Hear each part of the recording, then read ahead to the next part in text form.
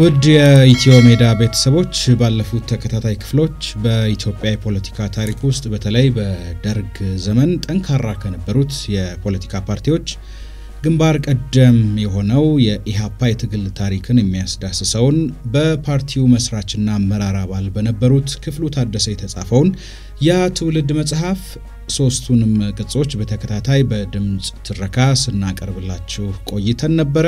በርካታ የቻናላችን ቤተሰቦች ትረካውን ተከታትላችሁ ሀሳብ አስተያየቶቻችሁን ሰጥታችሁናል፣ እናመሰግናለን። አንዳንድ ተከታታዮቻችንም ጥያቄ አዘል ሀሳቦችን ስትልኩልን ነበረ። ስለዚህ ዛሬ የቻናላችን ቤተሰቦች ላነሳችኋቸው ጥያቄዎች ምላሽና ማብራሪያ እንዲሰጡን የያ ትውልድ መጽሐፍ ጸሐፊ አቶ ክፍሉ ታደሰን የቻናላችን እንግዳ አድርገናቸዋል። አቶ ክፍሉ ታደሰ ኢህአፓን ከመሰረቱት በጣት ከሚቆጠሩ ፖለቲከኞች አንዱ፣ የፓርቲው ቁልፍ ሰው እንዲሁም አመራር አባል የነበሩ የፓርቲውንና የጓዶቻቸውን የትግል ታሪክ ያ ትውልድ የሚል ስም በሰጡት መጽሐፋቸው ከትበው ለአንባቢያን ያቀረቡ የስልሳዎቹ ትውልድ አንጋፋ ፖለቲከኛ ናቸው። ጥሩ ቆይታን እናደርጋለን። አብራችሁን ቆዩ።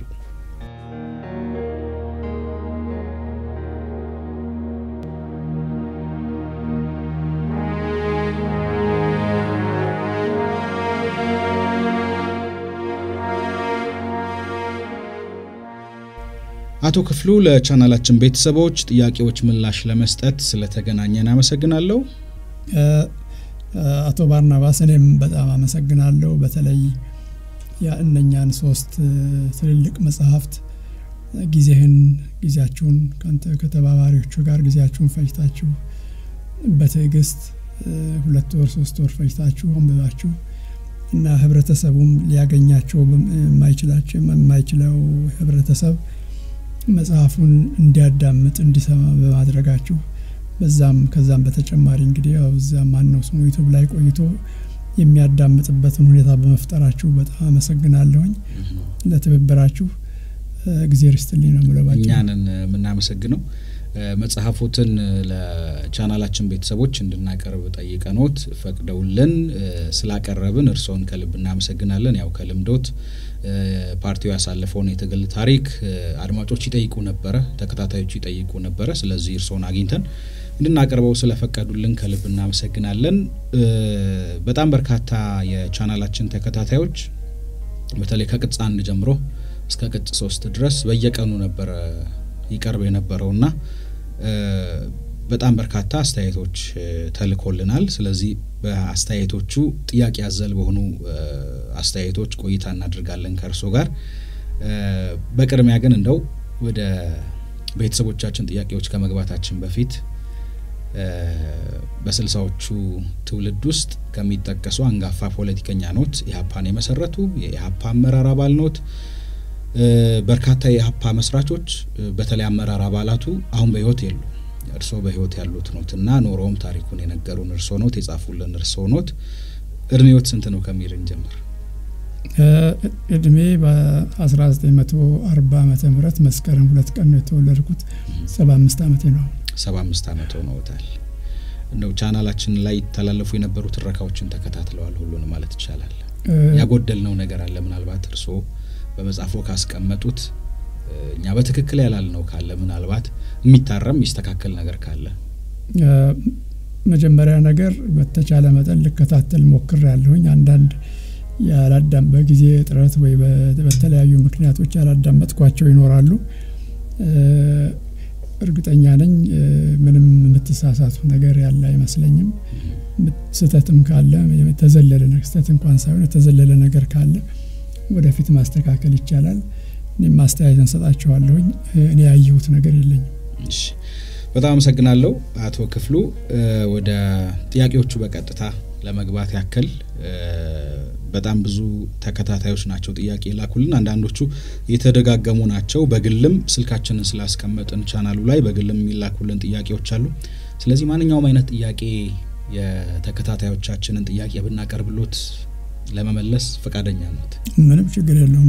ማንኛውንም አይነት ጥያቄ ልታቀርብ ትችላለህ። ምክንያቱም አንድ የምንረዳው ነገር አለኝ። የኢህአፓ ታሪክ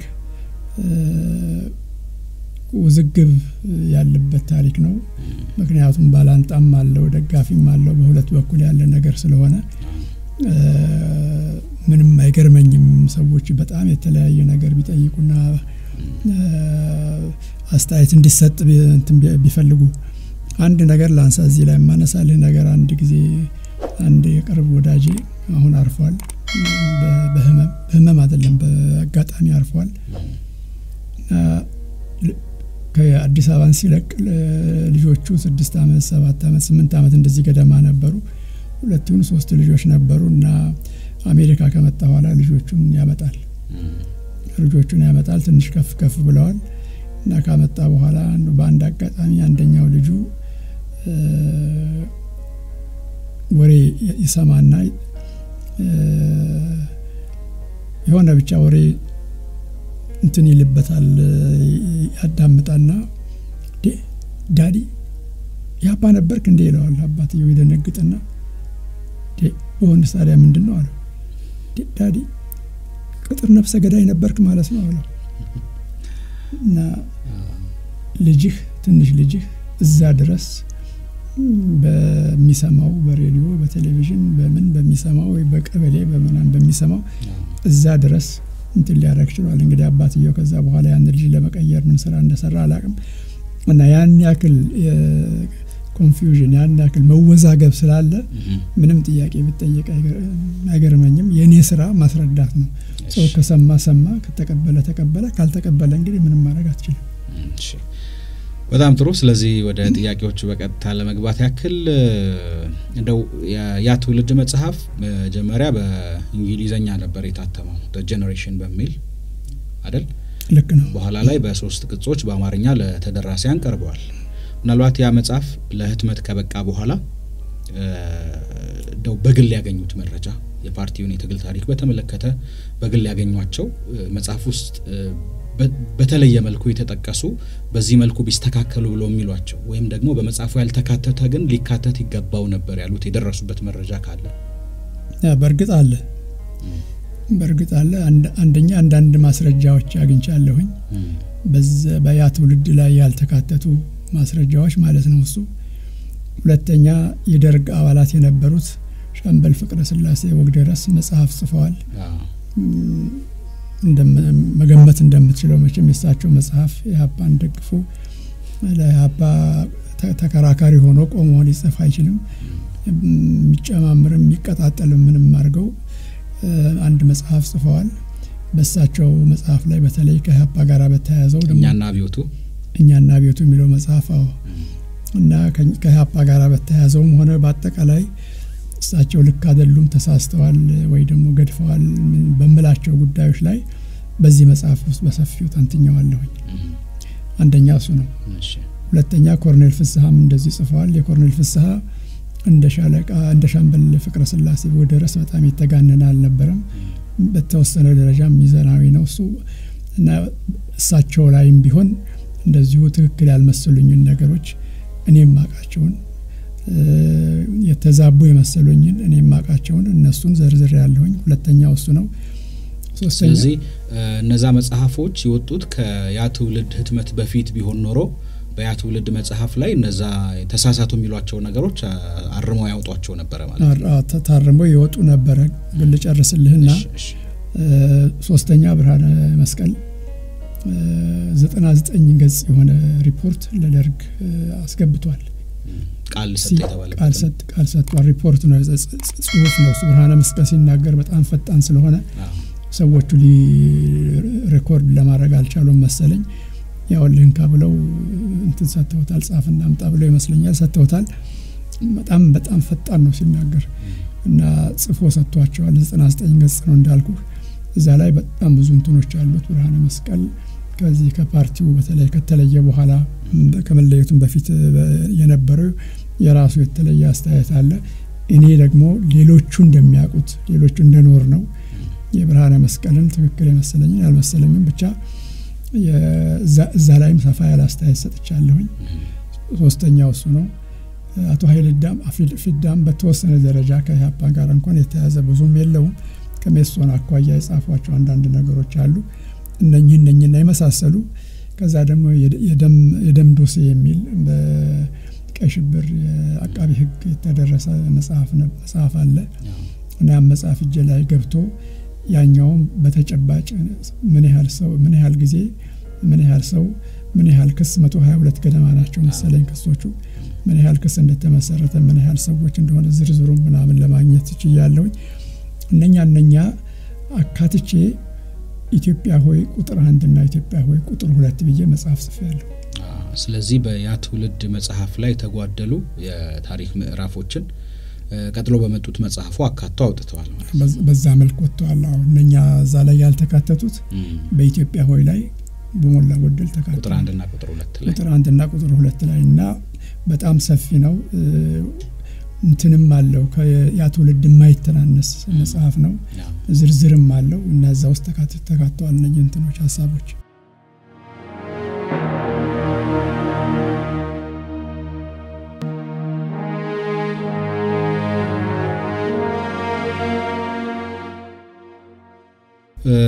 ወደ ሌላኛው ጥያቄ ሳልፍ ምናልባት በመጽሐፉ በዋናነት የፓርቲውን የትግል ታሪክ አሁን በሕይወት የሌሉ አመራሮችን ታሪክ ሲጠቃቅሱ ስለ ራሱ ብዙም አልነገሩንም ወይም ሊነግሩን አልወደዱም።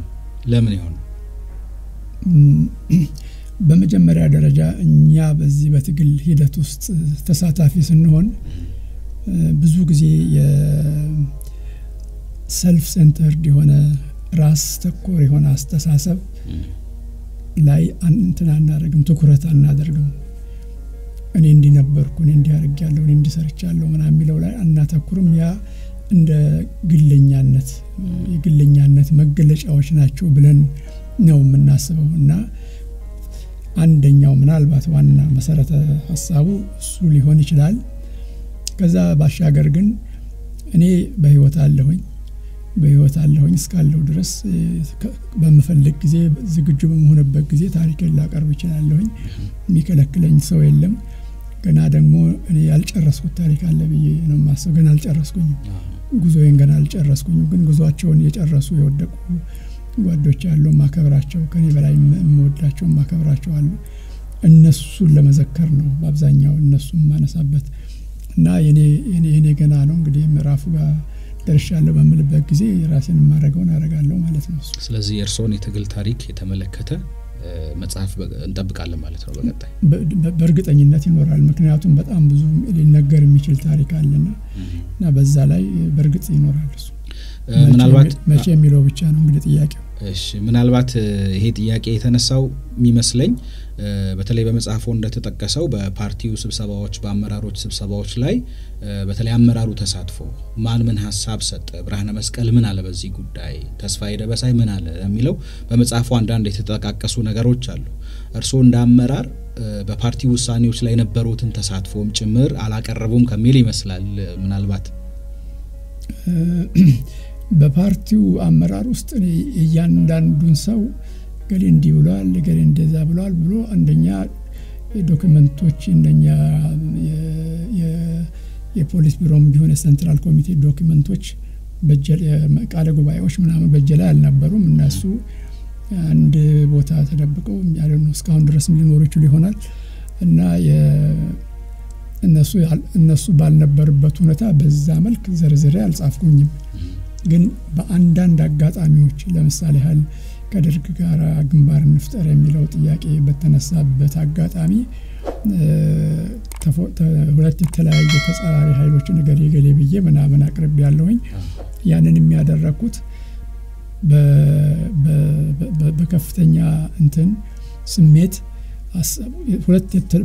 በተለያዩ ሁለት ሀሳቦች ላይ በዋነኛነት ሀሳብ ሰጡ የነበሩትን ሰዎች ለመጥቀስ እንጂ ሌሎቻችንም አንዱ ወይ በዚህ ወይ በዛኛው ዘርፍ ነበር። ለምሳሌ ያህል ብርሃነ መስቀልና ጌታቸው ነበሩ። እንተነ ብርሃነ መስቀልና ዘሩ ክሸን ነበሩ። በዛና በዚህ ሆነው እንትን የሚያደርጉት እና ግን በሞላ ጎደል ዘሩ ከሚናገራቸው ሀሳቦች ጋር ነበር መጀመሪያ ላይ የምስማማው። በኋላ ግን ማጆሪቲ ምናምን የሚባል ሰው መጥተው እነሱ የተለየ አቅጣጫ እንዲሄድ ያደረጉት እና ዋናው ጥያቄ ነበርኩበት፣ ተሳትፍ ያለው በእያንዳንዱ ስብሰባ ላይ የራሴን ማንነት ገልጭ ያለሁኝ፣ የራሴን ሀሳቦች ገልጭ ያለሁኝ።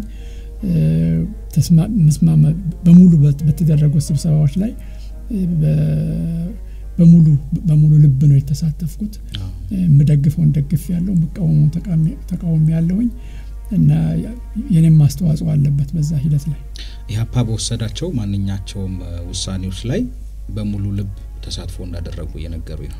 በሙሉ ልብ ተሳትፍ ያለሁኝ፣ አምኜበት ተሳትፍ ያለሁኝ፣ ውሳኔውም ላይ አምነውበት ደግፌ ተሳትፍ ያለሁኝ በነበሩት ማልቃው የተቃወምኳቸውን በዛ ውስጥ ገልጫቸዋለሁ። ያልተስማማንባቸውን ግን ብዙ ጊዜ በማጆሪቲ ድምፅ ነው ምናምን የሚያልፈው። የማጆሪቲን ድምፅ ተከትለ ትሄዳለ። ስለዚህ በአብዛኛው በሞላ ጎደል በብዙዎቹ ማለት ይቻላል ተስማምቼ ያደረግናቸው ናቸው። እሺ ወደ ኋላ ትንሽ ልመልሶትና እንደው በቀጣይ ስለ ግል የትግል ታሪኮ ስለ ራስዎ በመጽሐፍ ጽፈው እስኪነግሩን ድረስ እንደው ትንሽ ቀንጨባ አድርገው ወደ ትግሉ የገቡበትን አጋጣሚ እና ያሳለፉትን ህይወት እንደው ትንሽ በአጭሩ እስኪ ንገሩ። እንግዲህ በአጭሩ ለመናገር ያህል ትግል በዚህ ጊዜ ገባህ አይባልም። ሂደት ነው። ስንት አመት ይፈጃል፣ ብዙ አመት ይፈጃል፣ አጭር ጊዜ ነው የሚፈጀው፣ እሱ ሁሉ ምናምን መገመት አይቻልም። በመጀመሪያ ደረጃ ግን ትግል የሚባለው ነገር ከመነሳቱ በፊት የአስተሳሰብ መለወጥ ነው የሚመጣው። አስተሳሰብ ይለወጣል እና የእኛ አስተሳሰብ ላይ የእኔ ብቻ ሳይሆን የእኔ ትውልድ እኔ እንግዲህ በትውልድ ደረጃ ያ ትውልድ ሰፊ ነው። ሶስት ትልልቅ ትውልዶችን ያቀፈ ትውልድ ነው። የመጀመሪያው ትውልድ የአንጋፋዎቹ እነ ብርሃነ መስቀል እነ ኃይሌ ፊዳ እና የመሳሰሉት እንደ ዘሩ ክሽን ያሉበት ትውልድ ነው። እነሱ ከሰባት እስከ ስምንት ዓመት እድሜ ይበልጡናልኛል። ሁለተኛው ትውልድ የእኛ ትውልድ ነው። በእኛ ትውልድ ውስጥ እነ ጸሎተ ሕዝቅያስ እነ ዮሐንስ ብርሃኔ እና የመሳሰሉት እነ ጌታቸው ማሩ፣ ሌሎቹ ሌሎች ይገኙበታል። ሁለተኛው ትውልድ ሶስተኛው ትውልድ በስልሳ ስድስት ዓመተ ምህረት የሀይ ስኩል ተማሪዎች የነበሩ ናቸው። እነኚህ ሶስት ትውልዶች ናቸው በአንድነት ያ ትውልድ የሚባሉት እና ወደ ትግል ለመነሻ ሀሳባችን በመቀየር ደረጃ መነሻ የሆነው የ1953 ዓመተ ምህረት መፈንቅለ መንግስት ነው። እሱ የነገር ማሜ ነው። አይ አዎ። ከዛ በፊት ግን ከመፈንቅለ መንግስቱ በፊት በአዲስ አበባ ዩኒቨርሲቲ ውስጥ የግጥም ውድድሮች ይካሄዱ ነበረ። የዩኒቨርሲቲ ቀን የሚሉት ነገር ነበረ። የዩኒቨርሲቲ ቀን በዛ በዩኒቨርሲቲ ቀን ግጥሞች ይቀርባሉ። ምላሴ ብቻ ቀርታለች፣ ድሃው ይናገር የመሳሰሉት ነገሮች ይቀርቡ ነበር እና በጣም ልጆች ነን። አምስተኛና ስድስተኛ ክፍል ነበርን ብዙዎቻችን እና ይቀርቡ ነበር እና በጣም በጣም እንትን ያስገርሙን ነበር። ሰው እንዴት እንደዛ ሊያስብ እንደሚችል በጣም ይገርሙን ነበረ። በተለይ አንድ ጓደኛ አሁንም በህይወት ያለ ጓደኛ ያለ እዛ የሚተረኩት በስድስትም ሰባትም ግጥሞች ሁሉንም በቃሉ ይይዛቸውና ያ ጉልበት አለው በቃል የመያዝ እና ከዛ በኋላ በተደጋጋሚ በየጊዜ ምናምን ነገር እስቲ በልልን recite አድርግልን ምናምን እያልን ነው እናዳምጥ ነበር እና ያ እንግዲህ አንድ መነሻ ነው። እሱ ዋና አልነበረም። ትልቁና በሀሳብ ደረጃ እኛን ይዞን አንሳፎ ይዞን የሄደው ኩነት የ1953 ዓመተ ምህረት ኩዴታ ነበረ። እስከ 1953 ዓመተ ምህረት ድረስ ሁላችንም በአፄ ኃይለ ሥላሴ ነበር የምንምለው። አሁን ብዙዎቹ ብዙ ሰዎች በንጉስ በሰው አይምሉም እንደምናውቀው ምናልባት ማርያምን ሊሉ ይችላሉ ወይም ሚካኤልን ሊሉ ይችላሉ። ያኔ ግን ኃይለ ሥላሴ ይሙት ነበር የምንለው በአፄ ኃይለ ሥላሴ እናምን ስለነበረ ትምህርት ቤትም በእኛ ግምት ትምህርት ቤት የከፈቱልን እሳቸው ናቸው ብለን ነበር የምናስበው። ከ1953 መፈንቅለ መንግስት በኋላ በተለይ በሬዲዮ ሲናገር የሰማናቸው ነገሮች እነሱ እነሱ እንትን ብለውን ከዛ ሀሳብ ውስጥ መውጣት ጀመር። እንግዲህ ንጉሱን በጥርጣሬ አይን ማየት ጀመር። ምክንያቱም ብዙ ነገር ተብሏል። ግን እኛ ደግሞ ንጉሱ እንደ አምላክ ይታዩ ነበር፣ እንደ አምላክ ይታዩ ነበር፣ ይወደዱ ነበር። ንጉስ በፍጹም ሊከሰስ አይችልም። ንጉስ በአምላክ ነው የተሾመው፣ በእግዚአብሔር ነው የተሾመው የሚል አመለካከት የነበረበት ጊዜ ነበረ ነበር። በህብረተሰቡ ውስጥ። አዎ ልክ ነው፣ እሱ ነበረ። ግን በወጣቱ ደረጃ በተለይ የተማርኩትና ያደግኩት ተፈሪ መኮንን ትምህርት ቤት ነው። በእኔ እድሜ የነበሩ ከዛ ጊዜ ጀምሮ እንትን ማድረግ ጀመሩ። የሀሳብ ለውጥ መንሸራተት፣ የሀሳብ መንሸራተት እየመጣ ሄደ ይሄ በአንድ በኩል ያለ ነገር ነው እና በዚህ ጊዜ እንግዲህ ከመፈንቅለ መንግስቱ ጋር ተያይዞ ሌላ ጭንቅላታችን ላይ ትልቅ ተጽዕኖ ያሳደረ ጉዳይ እኛ ሰው ሲሰቀል አይተን አናቅም ነበረ። ሰው ሲሰቀል እንደ ኢየሱስ ክርስቶስ እጁን ግራና ቀኝ በምስማር ተቸንክሮ የሚሰቀል ነበር የመሰለን፣ እግሩን ደግሞ ታች በሌላ ምስማር ተቸንክሮ እንደዛ ነበር የመሰለን እና ሰው ተሰቅሏል ተባልና ወደ ጊዮርጊስ ቤተክርስቲያን ሄድን። ጊዮርጊስ አጠገብ ቤተክርስቲያን አጠገብ ሄድን። ሶስት ሰዎች ተሰቅለው ነበረ። እነኚህ የታሳስ መፈንቅለ መንግስት ከመሪዎቹ መካከል የነበሩ ሰዎች ነበሩ። እነሱ ተሰቅለዋል። ደነገጥን። ስናይ በምስማር መቸንከር አይደለም፣ አንገታቸው ላይ ገመድ አስገብተው ነው ያንጠለጠሏቸው እና በስጋቸው በጥይት ተመተዋል። የተሰቀሉትም ሬሳቸውን ነው የሰቀሉት ሬሳቸውን ነው የሰቀሉት እና ዘገነነን። እኛ ምንም ፖለ እንዳልኩ ገና ለመውጣት እየሞከርን ነበርን። ታዳጊዎች ነን። ከዛ ሁኔታ ውስጥ ለመውጣት ገና እንትን የምንልበት ጊዜ ነበር። ሶስት ነበር ይሄድ ነው ጓደኛሞች የሰፈርስ ልጆች በጣም ደነገጥን። መጀመሪያ ሬሳ ተሰቅሎ ስናይ የቆሰለ ሬሳ በጥይት የተደበደበ ተደብድቦ የሞተ ፊቱ ሁሉ የተጎዳደሰ ሬሳ ተሰቅሎ ስናይ ደነገጥን። የመጀመሪያው እሱ ነው።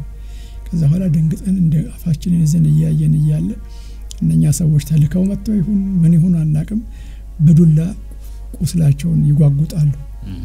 የሞተ ሬሳ ሬሳውን ተሰቅሏል፣ ሞተዋል። ያንን ይጓጉጣሉ። ያንን ስናይ ድንገት ስናይ ሶስታችንም በአንድ ጊዜ ጮህን። ልጆች ነን እንዳልኩት በ11 12 ዓመታችን 13 ዓመታችን ወደዛ በእርግጠኝነት እንደዚ አይነት ትዕይንት ከዛ በፊት አይታችሁ ልታውቁ አትችሉም። ምንም አናውቅም።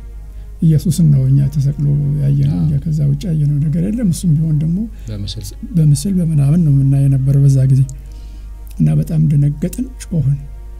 ስንጮህ ሰዎች ሊደበድቡን መጡ። የእነኚህ እንትኖች ናቸው ዘመዶች ናቸው ቤተሰቦች የትግል አጋሮች ወይ ምናልባት ልጆች ነን የትግል አጋር ማንሆንም ህጻናት ነን እና ዘመዶች ናቸው ምናምን ብለው ሊደበድቡን መጡ። ሸሽተን ወይ ፖሊስ ጋር ተጠጋን። ፖሊሱ በሉ ከዚህ ጥፉ ብሎ ፖሊሱ እንድንጠፋ አረገን። እንግዲህ ምናልባት እነኛ ሰዎች ተመድበው እንደዚህ አይነት ስራ የሚሰሩ ሊሆኑ ይችላሉ። ያንንም እንትን confidence ያንን ጉልበት እንደዛ አይነት ነገር ጸያፍ ስራ ለመስራት ጉልበቱን ከየት እንዳያገኙ አላቅም እና ለማንኛውም ብቻ ያ አንድ እንትን ነበረ እንድንሸሽ ያደረገን። ከዚህ በኋላ እንግዲህ ብዙዎቹ የተገደሉት እንግዲህ ወደ በርካታ የከፍተኛ ባለስልጣናት፣ ንጉሳውያን ቤተሰብ አባላት እና ሌሎች ወታደሮች፣ መኮንኖች እንደዚህ ተገድለው ነበረ። ቤተ መንግስት ውስጥ አሁን ዩኒቨርሲቲ የሆነው እንትን ውስጥ ተገድለው ተጥለው ነበረ እና እነሱ አሁን የካቲት 12 ነው የሚባለው ሆስፒታል ቀድሞ የቀዳማዊ ሥላሴ ሆስፒታል የሚባለው እዛ ነበር ሬሳቸው ተወስዶ ምናምን ምርመራ ይሁን whatever የሚካሄደው ነገር ተደረገው። የተረፉም አሉ። ስድስት ጥይት አሁን በስድስት ጥይት ተመተው የተረፉ ጀኔራል መኮንን ደነቀ የሚባሉ አሉ። በጣም ረጅም ሰውነታቸው ግዙፍ የሆኑ እንደሶቹ የተረፋለን። እንዴት እንዳገኙት ሬሳውን አላቅም። እንትን እሳቸው እንዴት እንዳገኟቸው አላቅም። ተርፈዋል እና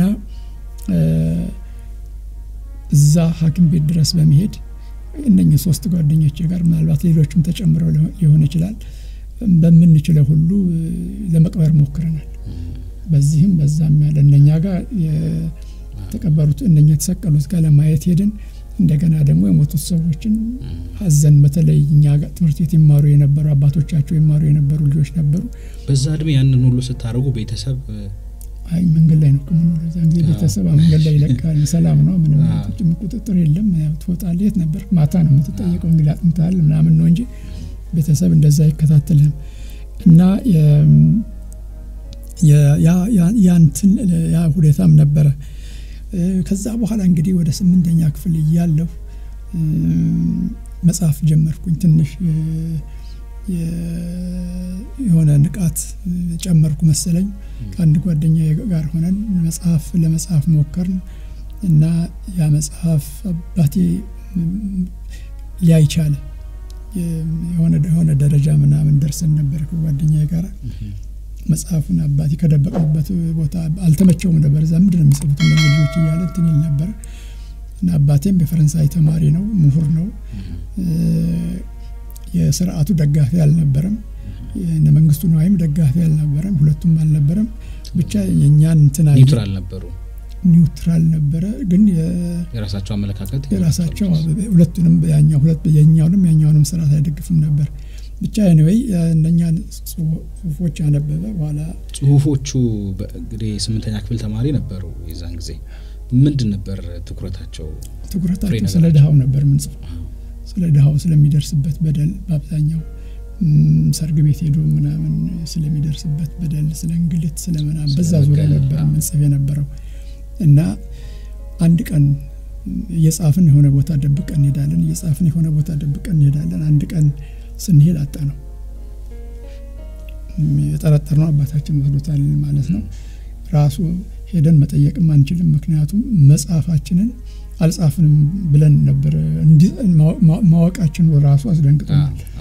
እና ኤኒዌይ እሱ ነበር። ከዛ በኋላ እንግዲህ የዩኒቨርሲቲዎች እንቅስቃሴ ሲጀመር ወረቀት በታኝ ከነበሩት መካከል አንዱ ነው የነበርኩ በየጊዜው ወረቀት ይበተን ነበረ። በተለይ አዲስ አበባ በነበርኩበት ጊዜ እና ደፈርም ስለምል እነሱም ደፈር ማለትን ስለሚወዱት የዛን ጊዜ ማን እንደሚጽፈው የት ጋር እንደሚጻፍ ምናምን መጻፊያው typewriter ኡ የት እንዳለ አታቅም ግን ብቻ የሆነ ቦታ ትቆማለህ። ጽሁፉ ይደርሶታል በዚህ አካባቢ በትን ትባላለህ። ትበትን ነበር የዛን ጊዜ ዩኒቨርሲቲ ተማሪ እየነበሩ ነው ይሄ?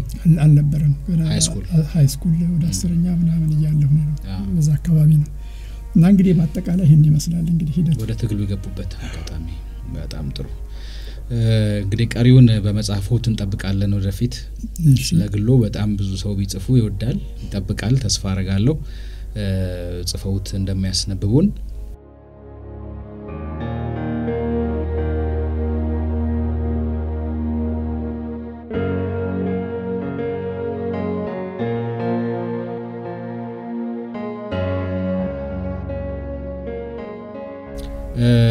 እስኪ ወደ መሀል ላይ ያሉትን ነገሮች እንጨዋወትባቸዋለን እናነሳቸዋለን። ግን ከትግሉ የወጡበት አጋጣሚ ምናልባት ከዚህ በኋላ መጀመሪያ ላይ ትጥቅ ትግል አልነበረም በኋላ ወደ ትጥቅ ትግል ሄዳችሁ ከዛ በኋላም ከትግሉ ወጥተዋል። ይህንን አጋጣሚ ነግሩናል ከትግል ወጣሁ አልልም እኔ። እኔ የምለው የሚገባኝና እኔ በተረዳሁት መንገድ ልንገር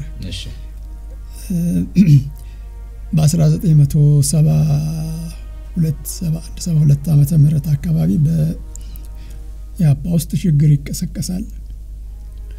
እና ችግር ይቀሰቀስና እንግዲህ በየቦታው በተለይ የዛ ጊዜ እንግዲህ ወደ ከአምስት እስከ ሰባት አስር ሺህ ምናምን የሚሆን ጦር ነበረ። ጦር ብቻ ጦር የሀፓ አባላት ነበሩ። በካድሬ የምንላቸው በፖለቲካል እንትን ውስጥ የፖለቲካ ስራውን የሚሰሩ እንደገና ደግሞ የታጠቁ የሰራዊት አባላት ነበሩ። እነኚህ የሰራዊት አባላት በበለሳ በሚባለው በምስራቅ ጎንደር እንደገና በጠለምት በሰሜን ምስራቅ እና በሰሜን መካከለኛው የሰሜን ጎንደር አካባቢ ሶስተኛ በወልቃይት እና ጠገዴ በዛ አካባቢ አራተኛው በአርማጭሆና በጠገዴ አካባቢ በአርማጭሆና በጭልጋ አካባቢ በእነኛ አራት ቦታዎች ላይ ይንቀሳቀሱ ነበረ።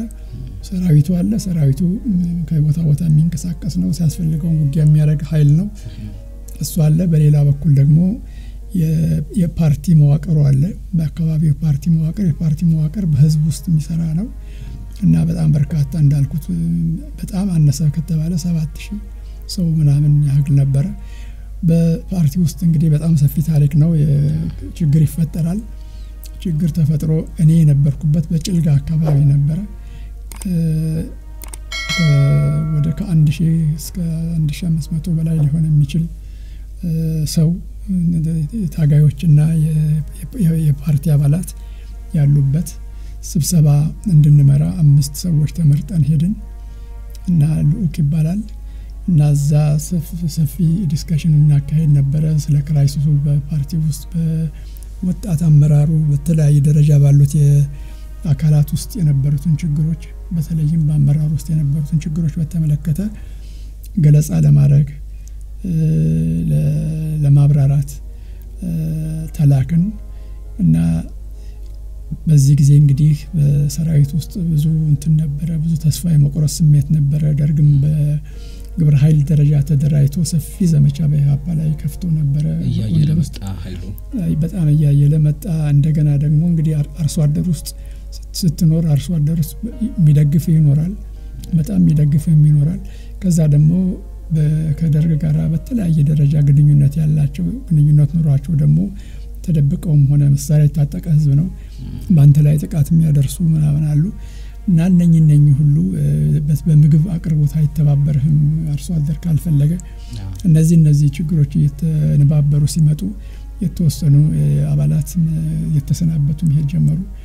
የኢህአፓ አንድ ትልቁ ትልቁ እንትኑ ከነ ህወሀትና ከነ ሻዕቢያ የሚለይበት አባላት በፍላጎታቸው ይታገላሉ፣ በፍላጎታቸው ለቀው መሄድ ይችላሉ እና አባላት እንሰናበታለን ካሉ መብታቸው ነው። ተወሰነ ሳንቲም ሰጥሃቸው ለጊዜው ለሚደርስባቸው ለመንገድ ላይ ለምናምናቸው እንትን ታረጋቸዋለህ። ወደ ሱዳንም ሆነ ወደ ሌላ ቦታ እንዲገቡ ታደረጋለህ።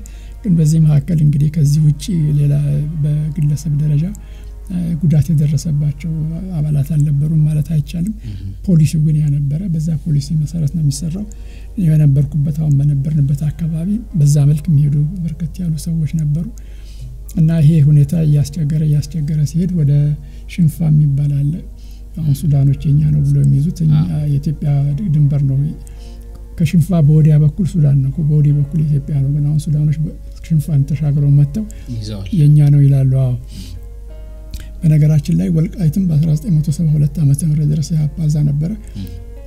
ወያኔ የትግራይ ሆኖ ማያቅ የሚያባያ ቦታ ያ ህዝብ የወልቃይት ህዝብ ቦታ ነበረ እና እኛም የወልቃይትን ህዝብ ነበረ ስናደራጅ እናንተ ስናደረግ የነበረው። ስለዚህ በዛ ጊዜ ወልቃይት አካባቢ የትግራይ ስነ ልቦና አልነበረው ነው የሚሉት።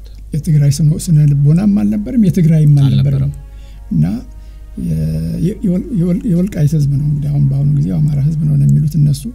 የወልቃታይ ነበር በዛ ጊዜ የሚሉት የዛ አካባቢ ህዝብ ነው እና ትግራይ እኛ ያንን ቦታ ስንይዝ ነው ትግራይ መታ ያንን ቦታ ወራ ወደ ውጭ ትግራይ ወደ ውጭ ወደ ሌላ ሀገር ወደ ውጭ ለመውጣት ያስፈልገኛል ብላ የያዘችው እንጂ ያ ቦታ የትግራይ ሆኖ አያውቅም። እኛ እስከምናውቀው ድረስ የኖርንበት ነው ያየ ነው። አሉ በሺዎች የሚቆጠሩ ያንን ቦታ የሚያውቁ እና እንግዲህ አሁን ወደዚህ ወደ እንቱ ልምጣና ወደ ድንበር ተጠጋን ማለት ነው። ሴሚናር ለማካሄድ ሞከርን። በጣም አስቸጋሪ ሆነ። ደርግም እንደዚሁ ይመጣል መጣሁ ምናምን እያለ ያስፈራራ፣ ሰው ደግሞ ሞራሉም እየወደቀ እየደከመ ሄዷል። ስለዚህ ውሳኔ ተደርጎ ሁሉም ሱዳን ገብተን ሱዳን ውስጥ ሴሚናር አካሂደን መሳሪያ ቀብራችሁ ነበር የወጣችሁት መጽሐፉ ላይ እንደውም መጨረሻ መሳሪያ ተቀበረ። ሬስፖንስ የሆኑ ኃላፊነት የሚሰማቸው ሰዎች ተመርጠው መሳሪያዎች ተቀበሩ እና እንትኑ የአባላቱ ተመልሰን እንገባለን በሚል ስሜት ነው ያንን ያደረጉት። እና ስብሰባም ይደረጋል ብለው ነበር ያንን ያደረጉት። እና አመራሩ ለሁለት ወር ያህል ስብሰባ ተቀመጠ። እና በዚህ ለሁለት ወር ስብሰባ በሚቀመጥበት ጊዜ በብዙ ጥያቄዎች ላይ ልዩነት ተፈጠሩ። እና እነዚህ ልዩነት የተፈጠረባቸው ጥያቄዎች ተመልሰን እንግባ፣ ወደ ትጥቅ ትግሉ እንግባ የሚሉ ናቸው ወይስ ሌሎች? እና በብዙ አሁን ያለውን ችግር crisis ኡን እንዴት እናየዋለን? መፍትሄውስ ምንድን ነው? ምን ለውጥ መደረግ አለበት በሚለው ጥያቄ ላይ የሀሳብ ልዩነት ነበረ። አሁን ወደ እንትን የገባውን ሱዳን የገባውን ወደ ሺ ምናምን ሺ ምናምን የሚቆጠር እንትን እንዴት እናየዋለን የሚል ጥያቄ ነበረ። በእኔ በኩል እነኛ አባላት ወደ ውጭ ወጡት። ሴሚናር ተካሂዶ ጉባኤ መለስተኛ ጉባኤ ተካሂዶ በዛ መለስተኛ ጉባኤ ችግሮቻቸውን ጥያቄዎች አንስተው እንትን መልስም ካላቸው መልስ ሰጥቷቸው መልስም ከሌለ ስህተትም ነው ከተባለ ያ ሁሉ ተነግሮ መፍትሄ ብቻ ባጭሩ ለጥያቄዎቻቸው መልስና መፍትሄ ተበጅቶለት ከዛ በኋላ የሚወስኑትን እንዲወስኑ አንፈልግም የሚሉ ይሄዳሉ፣ ወደ ውስጥ እንገባለን የሚሉ ወደ ውስጥ ይገባሉ እና ያ ነበር። በአመራር ውስጥ ሁለት ሀሳብ ተነሳ። ከፋፈል ተፈጠረ። እኔና አንድ አሁን አርፋለች፣ አበበች ትባላለች። እንደውም ስለ እሷ በዚህ አጋጣሚ ቢያነሱ ጥሩ ነው። አበበች ትባላለች። የሰራዊቱ አመራር አባል ነበረች።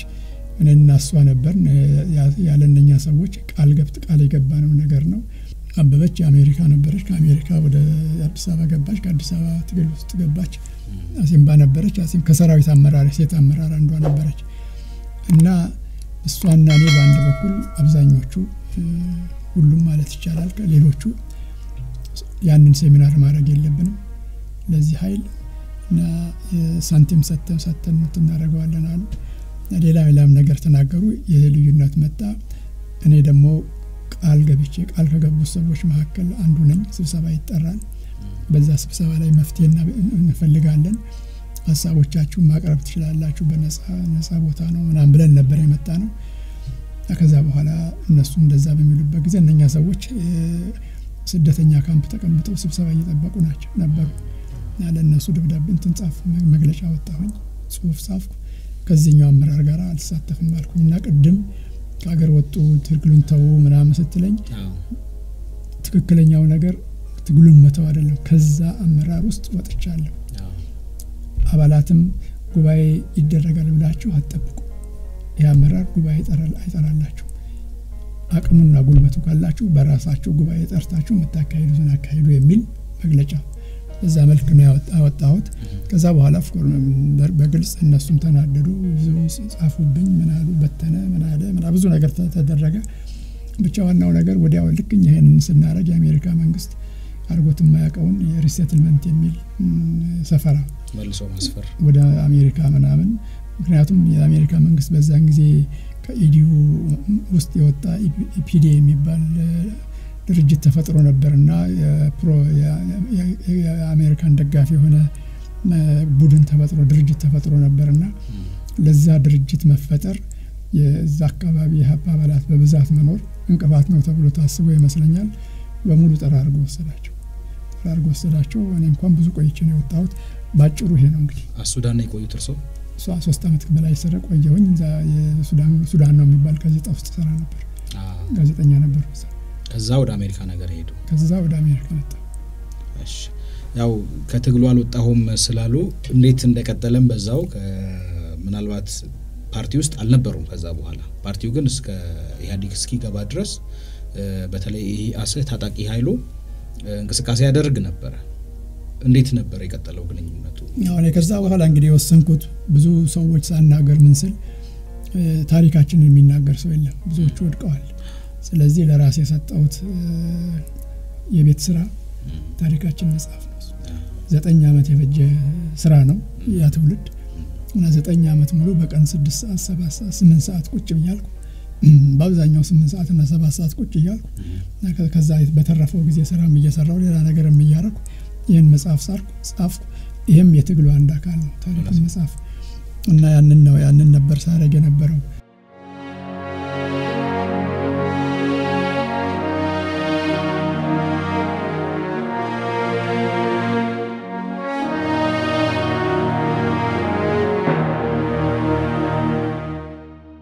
ውድ የኢትዮ ሜዳ ቤተሰቦች ከአቶ ክፍሉ ታደሰ ጋር ያደረግነው ቃለ ምልልስ አላበቃም። ክፍል ሁለትን በቀጣይ ዝግጅታችን ይዘንላችሁ እንቀርባለን። ውድ ቤተሰቦቻችን ቻናላችንን subscribe፣ like፣ share እንድታደርጉ በአክብሮት እንጠይቃለን።